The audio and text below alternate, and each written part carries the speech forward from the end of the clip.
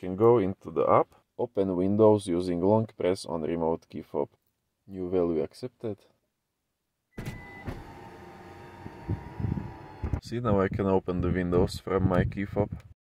Hi, I want to show you this Car Scanner Pro app which is in my opinion the best budget scan tool you can buy. App only costs $5 for lifetime. It also have free version so you don't even have to buy the Pro. It will work with the cheap OBD2 adapter. I am using this Veepeak adapter. I will put link in the description if you want to buy it. So let's connect it and I will show you what the app can do. Because sometimes it can be hard to plug it in without looking. The adapter is plugged in. Now we can look at this app press connect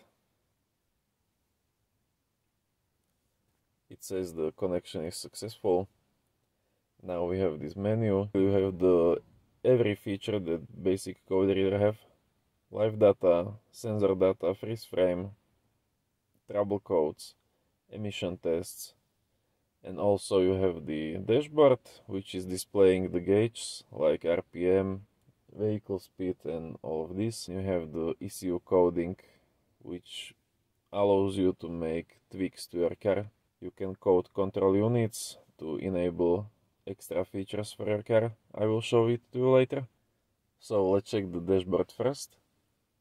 You can build your own page with your own layout. Let's try something like this for values. I will choose the engine RPM and you can also select the style okay now I have my custom page built and if I press the gas pedal see these values are changing with this button which is the mirror function it will work like head-up display basic feature read default codes and this app is not as basic as the other ones because it can scan all control units. Usually, I think almost all of these apps can only scan engine control unit. This app can scan every and single one of your control units that you have in car.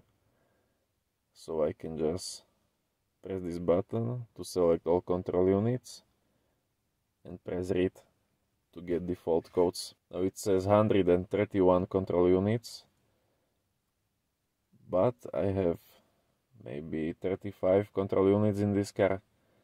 Usually the scan tool will just show every scan tool that I have tried only shows the control units you actually have in your car but this shows every control unit and it will go through all of them so if I don't have the certain control unit it will just move to another one it scans pretty fast it already scanned 30 control units I think I won't be scanning all control units. I will maybe stop the scan after 50 control units. We don't have to go to every, every one of them. It found some trouble codes.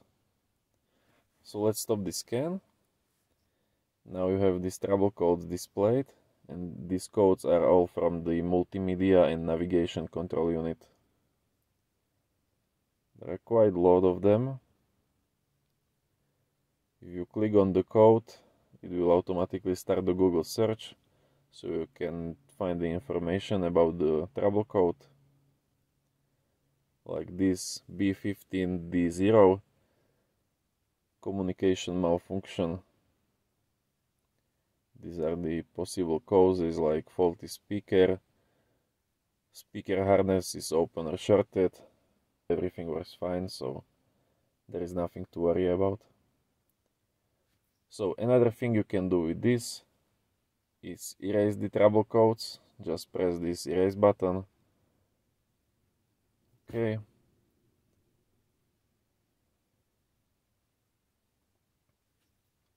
DTC clearing completed. So the trouble codes were deleted. So that is the scanning.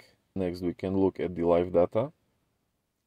Another great feature you can choose if you want to look at single values at once or combined graph but the best thing about the single values I will choose this separate if I click here I will choose the live data that I want to look at I will get the engine RPM but also you can watch the multiple graphs at once. Here, see these numbers? I press 2, 3, 4. Now I can have four different live data graphs at once. So let's get the, let's add the short-term fuel trim.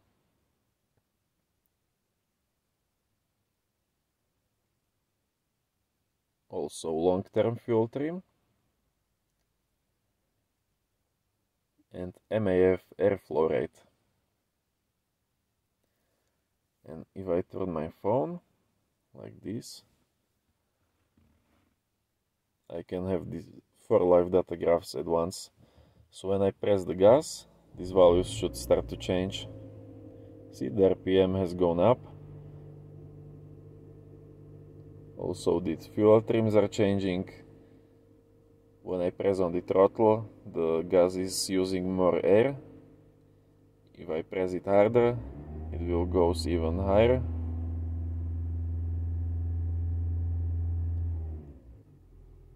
So you can look at all of this live data.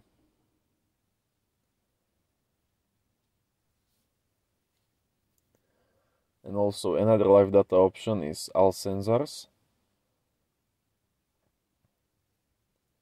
Here you have all of your sensor displayed, like the oxygen sensor voltage. And if you press it, it will take you to the graph.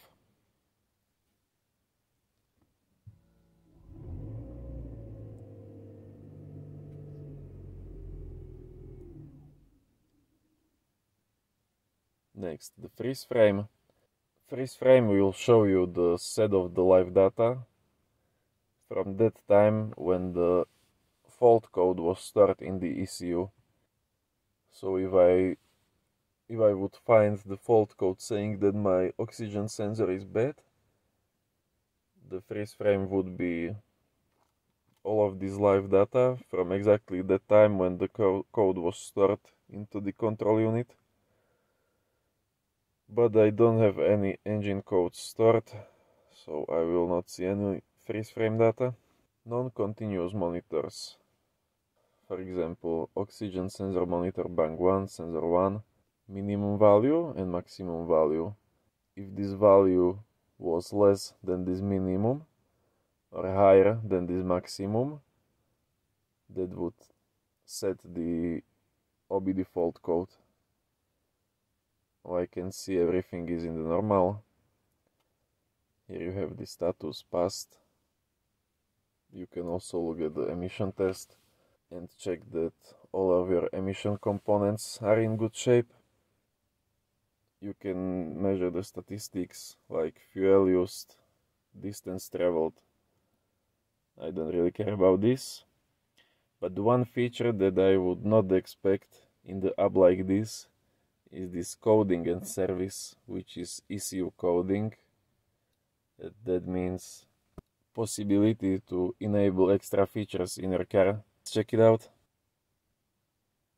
Now we have categories. And if you if I pick some category, let's say power windows, it will give me the coding options. For example, this open windows using long press on remote key.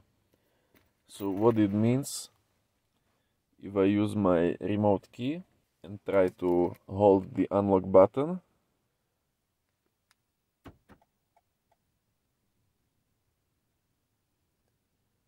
nothing is happening. We can go into the app, open Windows using long press on remote key fob. Current state not active. Select coding option. I will put the active. New value accepted. So now it should work. Let's try it again.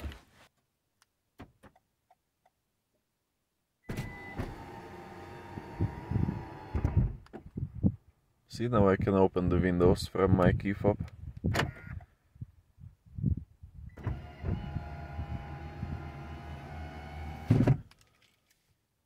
There are, there are quite few of these options. For coding my Toyota I also try Carista adapter, which had slightly more options.